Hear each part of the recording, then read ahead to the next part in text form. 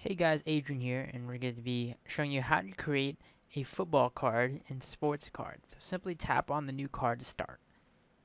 You're going to obviously want your photo either in your camera roll or taking a photo. If you saved an image on your iPhone, you can use that as well, again, in the camera roll, or simply take a photo to import. So you're going to click on the camera here, and then you're going to click import photo for my case, and I have a photo right here of my uh, the football player, and I can actually adjust it here, and he plays for Nova Scotia, actually. So uh, we can align this photo here. We can actually even use our pinch and zoom functionality if I want to align it right. I can now click team name and name, uh, put the team name. In this case, he plays for Nova Scotia here.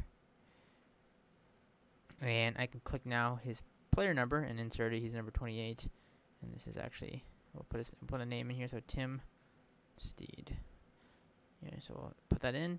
Now what we can do is we can customize a card. If you click on the card options, you can adjust card options as needed. So you can see here, I can realign it. I can now uh, also change color if I needed, so I can change it to example a green color. Hit sport here, and in this case, we're taking a look at football and setting up a football card. So it's really that simple, and then as simple as having Tim or yourself, whatever you want to do, sign it. So you can put my his initials here, TS, right there, and it's simple as that. You can put your full name, whatever you want to do, he can sign it, and of course, it's simple as ordering it, clicking the top, and getting cards just like the pros for whatever quantity you want and you choose the size up there. Of course, in the top right, you can save it for future reference, etc. And that's how simple it is to create a football card using Sports Card.